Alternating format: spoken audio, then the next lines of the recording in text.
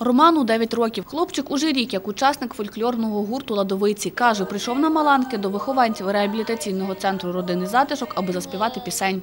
Я тут щоб виступати, зробити людям новорічний настрій. Дітки е, дуже готували гарну програму для вихованців родинного затишку.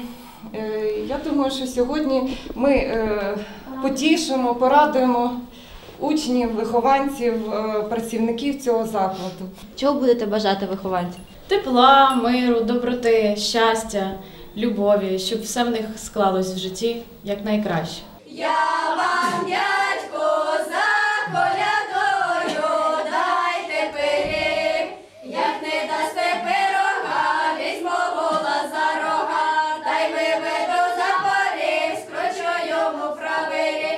Директор центру реабілітації родини затишок Антоніна Корчинська зізнається, такі концерти для вихованців закладу як ковток свіжого повітря. Тому то й хочеться, аби на центр звертали більше уваги. Коли молодь спілкується з такими нашими дітьми, це дає результати і для наших дітей, і дає результати великі для тих дітей, які взагалі такого ще не бачили, не знають, не чули, і напевно вони тоді пересмислюють своє життя, і життя стає зовсім по-іншому.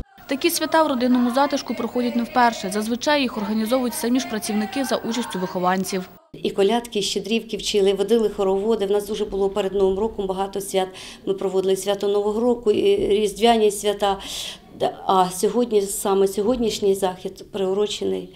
е, Центр прийшов центр учнівської молоді. Це будуть колядувати на малесенькі діти. У щедрий вечір вихованці родинного затишку, окрім концерту від Ладовиці, отримали ще й солодкі подарунки.